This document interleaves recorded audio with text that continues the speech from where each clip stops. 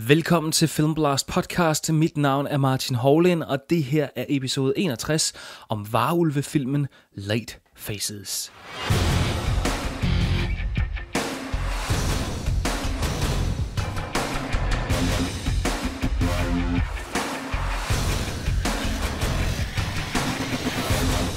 Late Faces er netop landet på dansk Blu-ray fra Another World Entertainment. Det er en amerikansk varulvefilm af den helt gamle skole, det vil sige uden CGI-effekter, men med praktiske effekter i form af en mand i et pelset kostyme, der render rundt og spreder skræk og redsel. Det lugter af 80'er monsterfilm med masser af overdrivelser, ironi og gang i den, og derfor ender Late Faces med at skuffe fælt. Der er nemlig langt fra særlig meget gang i den, og så ligner varulve-kostymet det, som det reelt er, et varulve-kostyme. Hey, speed limit 25. Easy, boy. It reminds me of that place that we used to live in when I was a kid. Looks like we beat the movers here. I can't see you, but you, smell beautiful. Did you just move next door?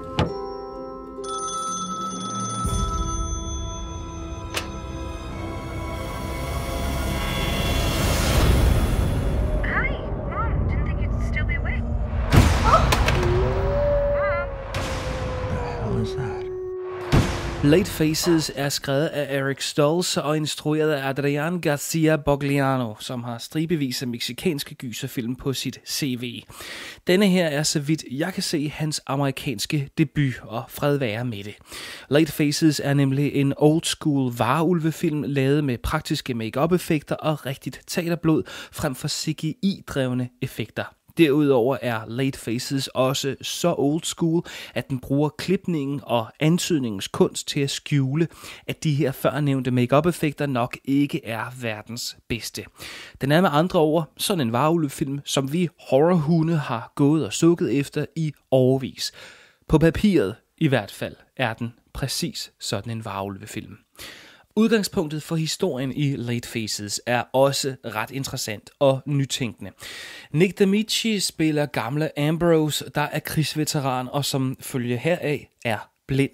Og derfor er han ikke bare krigsveteran, han er en gnaven og gammel og bitter krigsveteran. Ambrose har for længst nået pensionsalderen og har lige mistet sin kone, og han har et rigtig dårligt forhold til sin egen søn, Will, spillet af Ethan Embroy.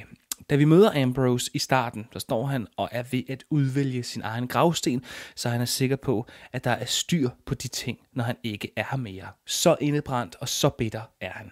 Søn og svigerdatteren, de har sørget for, at Ambrose er blevet flyttet ud i et mere sikkert område, fyldt med ensartede og kedelige rækkehuse, så langt øjet rækker.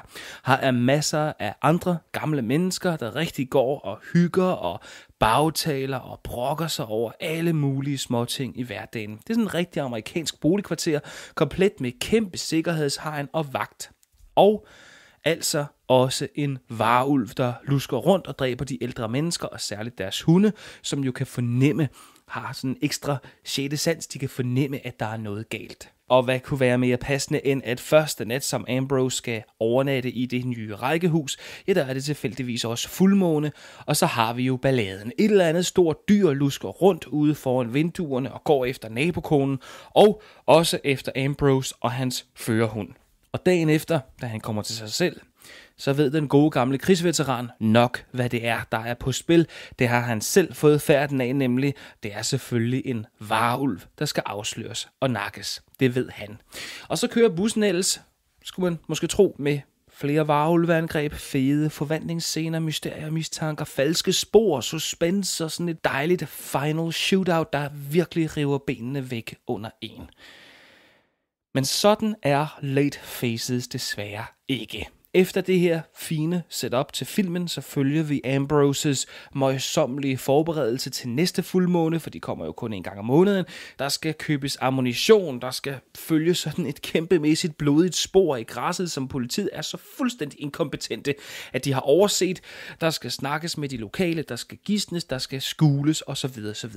Men faktum er, at 35 minutter inde i filmen her, inde i Late Faces, der har både Ambrose og seerne regnet ud, hvem varulven er, og derefter så trækkes spilletiden ellers til det uendelige, uden at der sker noget væsentligt.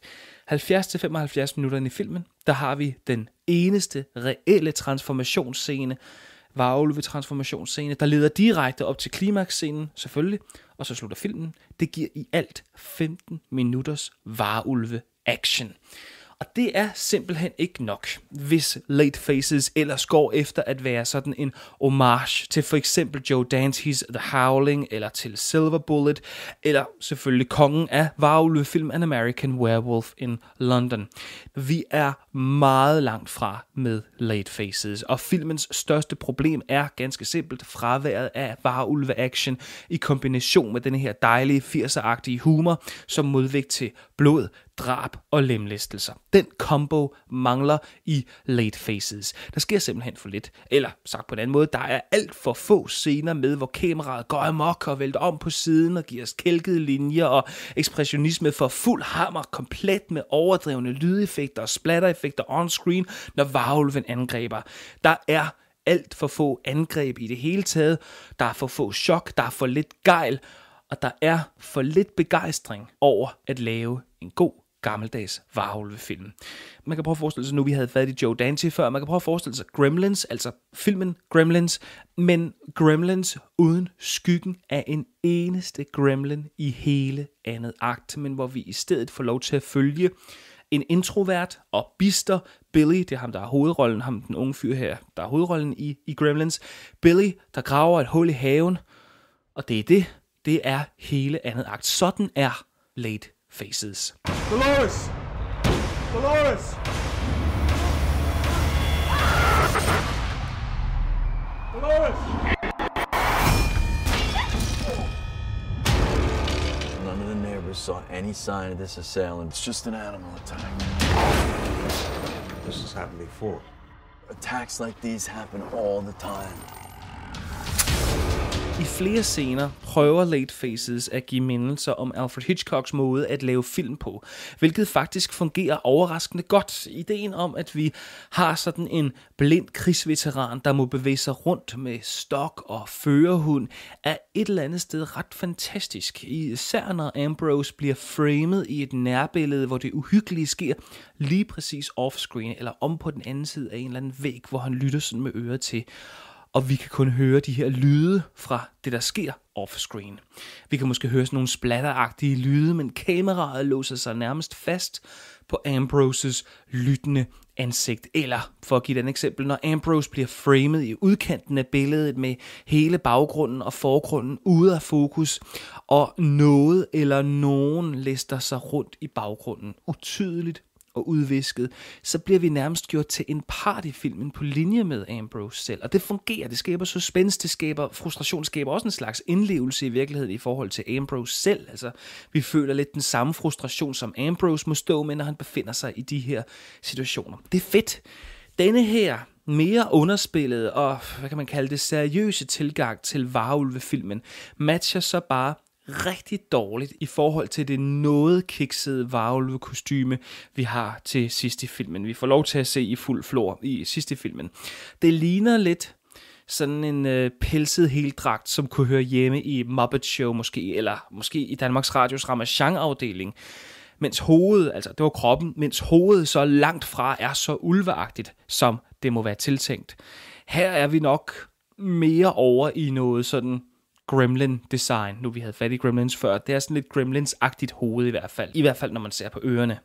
Den samme problematik med, at vi har en god idé, der tørner sammen med noget andet og giver et super kikset resultat, den har vi også, den finder vi også, når det kommer til selve filmens setting. Det her forstadskvarter hvor det kun er pensionister, der bor. Altså, ideen om at lave en pensionist varulve-film er på papiret, synes jeg, ret interessant. Det er rigtig interessant, faktisk. Især hvis den har sådan en lidt rear window eller Hitchcock-agtig stemning over sig. Det kunne faktisk være meget fedt at køre sådan en Hitchcock-stil hele vejen igennem, og lægge meget mere vægt på mysteriet og på opklaring, og at måske kunne Ambrose blive anklaget for overfaldene og for morerne, hvordan det så kunne lade sig gøre, det ved jeg ikke, han er jo blind altså. Men man kunne sagtens få det til at fungere, tror jeg. Køre Hitchcock-stil. At Nick D'Amici altså hovedrolleindhaveren her, så er sindssygt dårligt castet til rollen som gamle Ambrose. Det er en anden sag. Filmen Late Faces gør nemlig en dyd ud af at gentage, at Ambrose er krigsveteran, og at han har været i Vietnam, osv. osv. Men sagen er jo den, at Ambrose ikke ser ud, som om han er en dag over de 50. Og hvis vi skal være rigtig nøjeregnende, så er Nick Damici født i 1960. Det vil sige, at Ambrose, eller Nick Damici, var 13 år, da USA trak sig ud af Vietnam. Så han ligner ikke en krigsveteran, han er ikke en krigsveteran, og at man kommer til at sidde og være irriteret over sådan nogle små ting, over sådan nogle slips undervejs igennem late faces, det fortæller rigtig meget om filmens kvaliteter, eller mangel på samme.